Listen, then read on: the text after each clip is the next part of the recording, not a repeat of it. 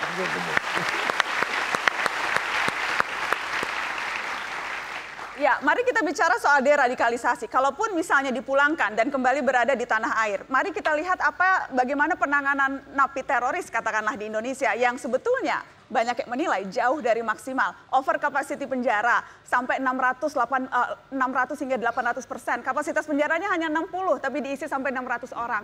Di beberapa LP, terutama LP yang bukan kelas 1, napi ter bercampur dengan napi lainnya. Ada kasus saya ingatkan teman-teman ketika sipir sipir penjara yang akhirnya ikut menjadi radikal karena terpengaruh oleh napi yang mereka jaga.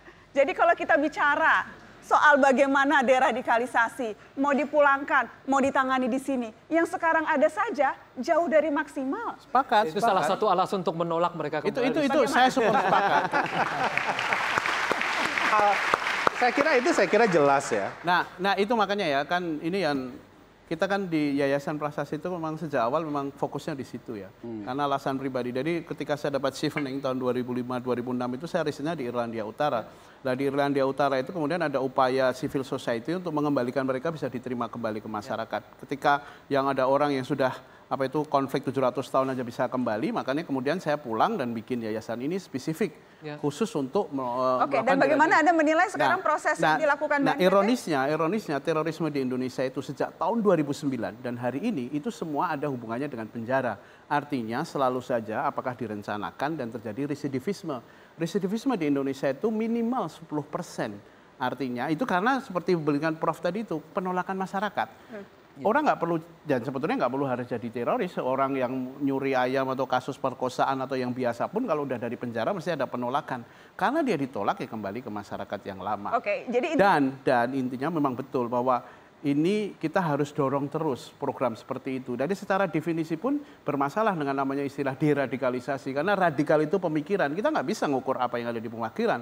Tetapi secara teoritis kalau disengagement itu lebih mudah diukurnya. Bukan tidak bisa loh deradikalisasi. intinya tapi bukan proses rumit. yang mudah. bukan proses yang mudah Bukan dan proses yang super rumit. Ya, saya kira saya, Ya. saya setuju ya bahwa memang soal deradikalisasi itu bukan sesuatu yang buat ini menyangkut dengan ideologi. Betul. Mencerabut keyakinan, mencerabut paradigma berpikir orang itu memang memerlukan satu proses exercise dan proses di mana dia Dan bagaimana Anda menilai proses yang dilakukan sekarang? Ya saya setuju, memang eh, terhadap para kombatan misalnya, terhadap para mantan teroris, saya kira memang pendekatannya tidak bisa hanya sekedar di penjara, karena pasti mereka akan meng- akan mengalami apa namanya ya stigmatisasi dan lain sebagainya ya. Makanya Sehingga di sini, dengan ya- masyarakat saya kira agak sulit. Oke. Saya Tapi begini, dengan Mas sa- Faisal saya ingin tadi menegaskan begini, tentang ya. perspektif memang korban. eh, pendekatannya harus pendekatan civil society ya terhadap eh, apa namanya eh, eh, deradikalisasi itu kan bukan berarti bahwa seseorang eh, apa eh, harus menerima berbagai deradikalisasi deradikalisasi itu kan bagaimana agar orang bisa lepas dari pemahaman Oke. sikap Jadi, yang Saya, saya intoleran. menanggapi Oke. gini, uh, Mbak Nazma. Kalau kita lihat Indonesia sebelum 9/11, saya kira tidak ada kasus-kasus yang menonjol terorisme. Setelah 9/11 kita lihat banyak kasus-kasus yang menonjol, bom Bali dan sebagainya. Ini kan kita ingin ini sustainable dalam menang- menangani ini. Jangan ada terus kasus-kasus terorisme seperti tadi. Sejauh mana keberhasilan program-program deradikalisasi yang juga banyak memakan dana APBN? Ya, jangan sampai ini menguap begitu saja tapi tidak ada hasilnya. Jadi kalau menurut saya kita juga harus evaluasi cara kita menangani masalah Ya. terorisme dan sebagainya. Jangan sampai terorisme ini dibikin terus ada terus supaya ada anggarannya juga terus gitu loh. Ya. Jadi ini ini sangat berbahaya ya karena bisa saja ada pihak-pihak yang menginginkan ini ada terus ya. Dan menurut saya Nanti saya- kita tanyakan kepada Ya. Bapak Menteri Pertahanan. Saya yakin orang Indonesia itu pada Bagaimana, Pak dasarnya moderat. saya Persoalan Menteri Pertahanan katanya. itu bukan di Kementerian Pertahanan, itu adanya di BNPT, di ya. kepolisian dan Eh, lain-lain. Karena beliau Nah, masuk dalam eh, Kemenko Polhukam. nah, tapi anggarannya bukan di Kemenhan itu. Ah, bukan. Oke. Memang betul. Di Tapi Kemenhan beliau ada bela negara. Nah, itu bisa dimasukkan di bela Kemen- negara. Oke. Kemenko Polhukam beliau ada di dalam sana. dan Jadi maksud saya tuh begini. Baik, ini harus kita lihat ya, jangan sampai eh, kita ada terus eh, melihat dari kasus per kasus dari simptom ke simptom tapi tidak menyelesaikan masalah. Oke. Tapi gini, Oke. sekarang aja Eh, sudah sebentar, kita Pak. punya masalah. Kenapa harus ditambah-tambah lagi dengan Nah. mendatangkan lagi yang Saya 600-an ingatkan, itu? Saya ingatkan, yang pertama kali mengangkat wacana ini adalah Menteri Agama. Ah, saya akan melakukan Ya, Menteri A- klarifikasi. Bukan, bukan. Ada.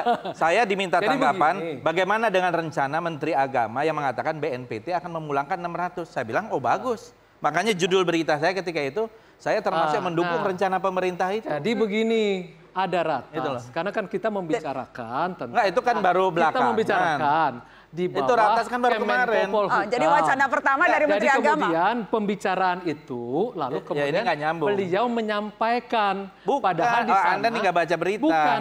Oke. Beritanya yang salah. Anda nggak baca berita. Dia yang buat berita masalahnya. Beritanya Oke. saya ada di Sebagai sana. jubir harus baca berita dong. Bukan, Setiap saya hari. tidak baca berita karena Asal saya usul ada berita di ini sana. dari mana? Begini, saya Asal ada usulnya di dari sana. mana? Oke. Saya tanya, Anda baca nggak berita itu? Saya tidak ba- saya Anda ada baca di sana. Oke.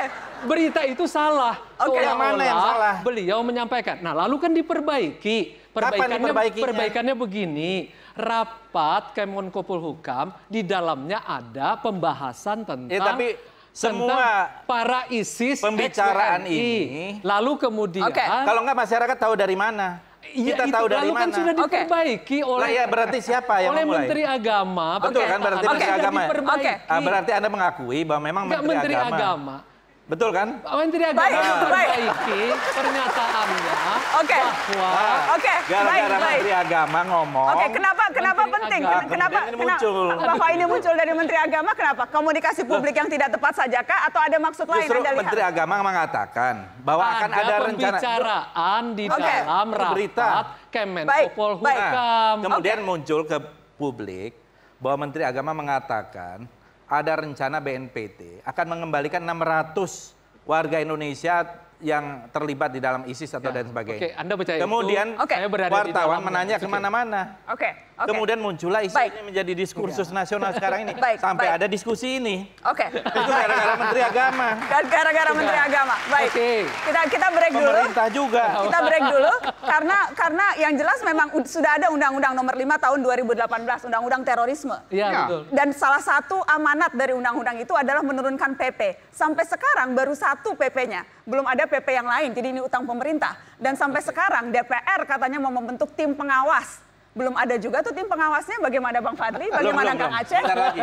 Sebentar lagi katanya. Jadi Kan jadi DPR siapa yang ini. jadi siapa yang tidak kerja ya? Pemerintah tidak kerja, DPR tidak kerja. Kita bahas setelah pariwara.